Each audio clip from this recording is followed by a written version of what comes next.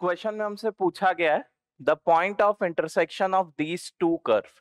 दो कर्व आपको दिए हुए हैं, एक तो है पैरामीटर टी के फॉर्म में और एक दूसरा कर्व है जो पैरामीटर एस के फॉर्म में। इन दोनों का पॉइंट ऑफ़ इंटरसेक्शन निकालना है।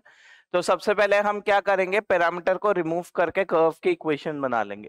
जैसे इस वाले में y equals to two t दिया गया है तो मैं ये बोल सकता हूँ, t की जगह हम y बाई टू रख सकते हैं। तो जो कर्व की इक्वेशन बनेगी, देखो t की जगह y बाई टू रख दी, रख दो इसमें तो y बाई टू का होल स्क्वायर प्लस वन ये आपकी कर्व बन गया। और दूसरा है, ये तो दिख रहा है रेक्टेंगुलर हाइपरबोला होता है क्या? X y equal to four बन रहा है, दोनों को मल्टीप्लाई जैसे ही करोगे एस कैंसिल हो जाएगा और टू इंटू टू फोर इन दोनों कर्व को आपको सॉल्व करना है, किसी भी एक वेरिएबल की वैल्यू इसमें रख दीजिए।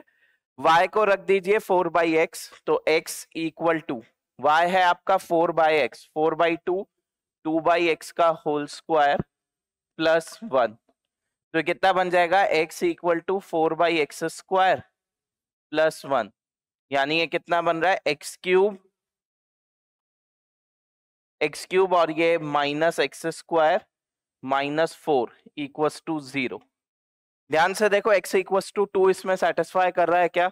Eight minus four minus four. So x की वैल्यू टू इसको सेटिस्फाई कर रही है और एक्स अगर टू है तो इस इक्वेशन से हम बोल सकते हैं वाई भी क्या होगा टू यानी जो पॉइंट ऑफ़ इंटरसेक्शन है, वो क्या बन रहा है? Two comma two that is option two clear